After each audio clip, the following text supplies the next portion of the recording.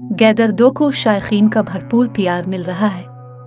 Film पहले ही 500 करोड़ रुपए का हिस्सा उबूर कर चुकी है और अब भी ये शानदार बिज़नेस कर रही है। सुनी देवल और अमीषा पटेल ने तारा और सकीना के तौर पर बड़ी स्क्रीनों पर वापसी की है।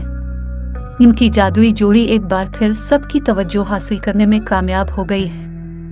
एक अदाकार होने के अलावा सुनी देवल एक सियासतदान और गुरदासपुर के मौजूदा एमपी भी हैं। उन्होंने 2019 के इंतबात में गुरदासपुर की सीट जीतने के लिए बड़े फ़र्क से कामयाबी हासिल की थी। सुनी देवल हाल ही में अब की अदालत में नज़र आए और अपनी फ़िल्म गदर दो और बहुत सी दूसरी चीज़ों के बारे में बात की। इनसे पार्लियामेंट के इजलासों में उनकी कम हाजिरी के बारे में पूछा गया। इसी के बारे में बात करते हुए सुनी ने कबूल किया कि उनकी हाजिरी कम है और ये अच्छी बात नहीं है।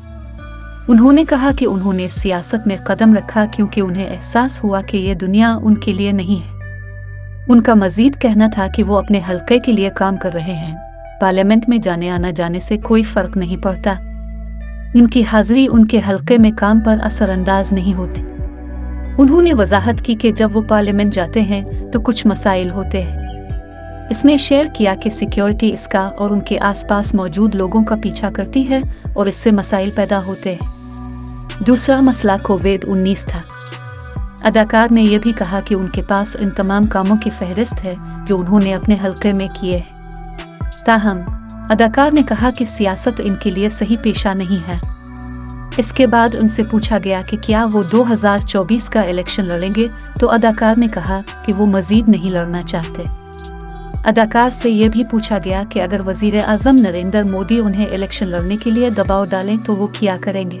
सुनी देवल ने इस सवाल का बहुत अच्छा जवाब दिया।